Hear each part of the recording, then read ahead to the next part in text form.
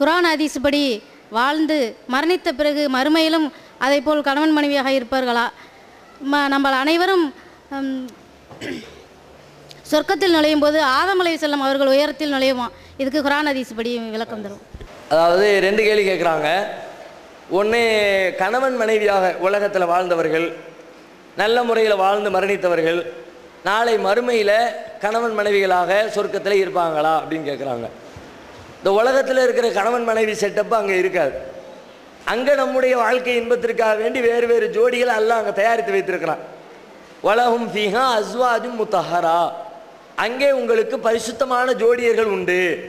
அங்கேன்னு தனியான ஜோடி அல்ல ஏற்படுத்தியிருக்கிறான் ஆண்களுக்கு பெண் ஜோடி ஏற்படுத்தியிருக்கிறான் பெண்களுக்கு ஆண்களுக்கு உண்டான ஜோடிகளை அல்ல ஏற்படுத்தி வைத்திருக்கிறான். அதை அவங்க வந்து அப்படி அவங்களோட தான் வாழ்க்கை நடத்துவதற்குரிய மனோநிலையில் மனிதர்கள் இருப்போம். அங்கே போனதுக்கு பிறகு இவர்கள் மீது நாட்டம் வராது. ஒருவேளை அப்படி தேவை ஏற்பட்டால் அல்லாஹ் குரான் சொல்லி காட்டுகிறான் சந்திப்பார்கள்ங்கிறான். கணவன் மனைவியாக இருக்கட்டும் அல்லது அவருடைய பிள்ளைகளாக இருக்கட்டும் நாளை மறுமையில் அவங்கள சந்திப்பாங்க. உலகத்தில் நல்லவங்களா நல்லவராக இருந்த கணவரும் சொர்க்கத்தில் இருக்கிறாரு நல்லவராக இருந்த மனைவியும் சொர்க்கத்தில் இருக்கிறாங்க அப்படின்னா கணவன் மனைவியும் சந்திச்சுக்குவாங்க. இந்த கணவனையும் மனைவியும் அவங்களுடைய பிள்ளைங்க போய் சந்திச்சுக்கணும் அல்லா சொல்லி காட்டுகிறான். வல்லதீன ஆமனும் வத்தபாத்துஹும் துர்ரியத்துஹும் பீமானின் அல் ஹக்னா துர்ரியத்தகும் துர்ரியத்தஹும். யார் இறை நம்பிக்கை கொண்டு வாழ்ந்தார்களோ அவர்களை அவர்களுடைய சந்ததிகள் பின்தொடர்ந்தார்களோ நாளை மறுமையிலே இந்த சந்ததிகளை அவர்களின் பெற்றோரோடு நாம் சேர்த்து வைப்போம். அப்போ பெத்தவங்க ரெண்டு பேரும் சொர்க்கத்தில் இருக்கிறாங்கன்றது விளங்குது. பெத்தவங்க தான் நாம புரிந்து கொண்டிருக்கிறாங்கன்றது விளங்குது. அதனால தான் இந்த பிள்ளைங்க போய் நம்முடைய பெத்தவங்கன்னு அவங்கள போய் சந்திக்கிறாங்கன்றது விளங்குது. பெத்தவங்களை போய் பிள்ளைய சந்திக்க வைக்கிறான் அப்படின்னா இது நாம பெத்த பிள்ளைன்னு பெத்த பெத்தவங்களுக்கு தெரிஞ்சா தானே சந்தோஷம். பெத்தவங்களுக்கு தெரியாம ஒருத்தர் வந்து சந்திச்சா நம்ம பிள்ளைன்னு தெரியல. ஒருத்தர் வந்து சந்திச்சுட்டு போனா அதுல ஒரு பெரிய சந்தோஷம் வருமா? நம்ம பெத்த பிள்ளைய சந்திக்கிறோம் அப்படின்னு வந்தா தான் அப்பதான் அதிகபட்ச மகிழ்ச்சி வரும். இப்போ அந்த வசனத்திலிருந்து என்ன விளங்குதுன்னா சொர்க்கத்தில் இருப்போம் ஆனால் ஜோடிகளாக இருக்க மாட்டோம். ஜோடியா இணையணும்னு விரும்பினா விரும்பியதெல்லாம் கிடைக்குங்கிறான அந்த அடிப்படையில் அதுவும் உங்களுக்கு கிடைக்கும். அதை தாண்டி மறுமையை பொறுத்த வரைக்கும் அங்கே நாம் வேறு வேறு ஜோடிகளோடு தான் நம்முடைய வாழ்க்கை அமைந்திருக்கும். இந்த உலகத்தில் இருக்கிற ஜோடிகளை அங்கே நாம் ஜோடிகளாக தேர்வு செய்து கொள்ள மாட்டோம். இவங்களுக்கு ஆண் ஜோடிகளோடு இவங்க தனியாக இருப்பாங்க. அவர்களுக்கு பெண் ஜோடிகளோடு அவர்கள் தனியாக இருப்பாங்க. ரெண்டு பேரும் தனித்தனியாக தான் இருப்பாங்க. சில பேருக்கு விதிவிலக்கு சொல்லப்பட்டிருக்கிறது. இது ஒன்று ரெண்டாவது என்ன கேட்குறாங்கன்னா நாளை மறுமையில் எல்லோரும் ஆதம் இஸ்லாம் அவர்கள் அளவிற்கு உயரமாக இருப்போமா? அவங்கள மாதிரி தான் சொர்க்கத்தில் இருப்போமான்னு கேட்குறாங்க சொர்க்கத்தில் எல்லாருமே அப்படி தான் இருப்போம். சொர்க்கத்தில் வந்து இப்போ இப்போ இருக்கிற மாதிரி எந்த வித்தியாசமும் இருக்காது.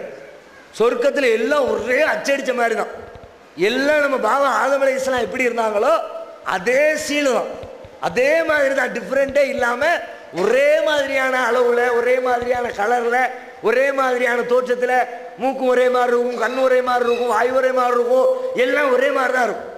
அது ஒரு பெரிய ஹிக்மத்துக்காண்டி எல்லாம் அப்படி பண்ணுறான் ரசூசலாசன் அப்படி சொல்கிறாங்க எல்லாரும் நம்முடைய பாவா பாபா மாதிரி தான் நம்முடைய தந்தை ஆகத்த மாதிரி தான் சொர்க்கத்தில் இருப்போம் அப்படின்னு சொல்கிறான் குரான்ல அல்லாஹ் சொல்லி காட்டுகிறான் வனசானா மாஃபி சுதூரிஹிம் மின் ஹில்லின் இக்வானன் அலா சுருரி முத்தகாபிலின். அவங்களுடைய சொர்க்கத்து வாசிகளுடைய உள்ளத்திலிருந்து பொறாமை உணர்வை நாம் கலட்டி எடுத்து விடுவோம். அவர்கள் அனைவரையும் சகோதரர்களாக ஆக்கி விடுவோம். பொறாமை உணர்வே மறுமையில் சொர்க்கத்தில் இருக்காதுங்களாம். பொறாமை உணர்வு இருக்காதுன்னா எப்படி?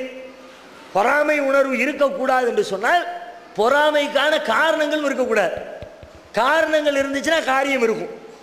ஒரு சாக்கடை இருக்குன்னா நாத்தம் இருக்கத்தான் செய்யும். நாத்தமே இருக்கக்கூடாதுன்னா சாக்கடையே இல்லாமல் இருக்கணும். சுத்தமான ஒரு இடமா இருந்துச்சுன்னா நாத்தம் இல்லாமல் இருக்கணும். பொறாமைக்குரிய காரணம் இருந்தால் அங்கே பொறாமை இருக்கும். அதில் ஒன்று தான் இந்த அங்க அடையாளத்தில் வித்தியாசம் இருக்குதே. ஒவ்வொருத்தரும் ஒவ்வொரு மாதிரி இருக்குமே. இது பொறாமைக்கான காரணங்கள் ஒன்று பணத்தில் ஒருத்தரை விட ஒருத்தர் வித்தியாசமாக இருந்தால் இவர் நம்மளை விட பெரிய பணக்காரனாக இருக்காருன்னு பொறாமை வரும். பலத்தில் உடல் தடகாத்திரத்தில் ஒருத்தர் நல்ல வலுவுள்ளவராக வித்தியாசமாக இருந்தால் அவரை பார்த்து பொறாமப்படுவாங்க. அதிகாரத்தில் வித்தியாசம் இருந்தால் பொறாமப்படுவாங்க. அது மாதிரி அழகில் வித்தியாசம் இருந்தாலும் பொறாமை வரும். இவர் நம்மளை விட அழகாக இருக்காரு. நம்மளோட சூப்பராக கலராக இருக்கிறாரு நல்ல ஸ்டைலாக இருக்கிறாரு நல்ல மூக்கு முடியுமா இருக்கிறாரு நல்ல வாழப்பு சாதி மாதிரி நல்ல கத்தி மூக்கு மாதிரி அப்படி இப்படின்னு ஒன்று ஒன்றும் மனிதனுடைய உடல் உறுப்புகள்லையும் பொறாமை வருவதற்கான வாய்ப்பு இருக்கத்தானே செய்யுது. அப்போ மறுமையில் பொறாமை இருக்கக்கூடாதுன்னா அந்த காரணமும் இருக்கக்கூடாதுன்னு நல்லா பார்க்கணும். வித்தியாசமாக இருந்த ஒருத்தரை விட ஒருத்தர் சூப்பராக இருந்தாரு இவர் பொறாமப்பட்டு உட்காந்துருப்பார் அந்த பொம்பளை சூப்பராக இருக்காள அந்த ஆம்பளை சூப்பராக இருக்காரு எதுக்கு இந்த பஞ்சாயத்து? எல்லாத்தையும் ஒரே மாதிரி ஆக்கிடுவோம். எல்லாம் ஒரே நம்ம நம்மளும் மறுத்தான் அவன் அவனை மறுத்தான் நம்ம. பொறாமை இருக்காது. அதனால நாம் எல்லாருமே ஆதம் அலைஹிஸ்ஸலாம் மாதிரி தான் இருப்போம். பொறாமை இல்லாமல் இருப்பதற்கு இது ஒரு முக்கியமான காரணமாக அல்லாஹ் அமைத்திருக்கிறான் என்பதை புரிந்து கொள்ள வேண்டும்.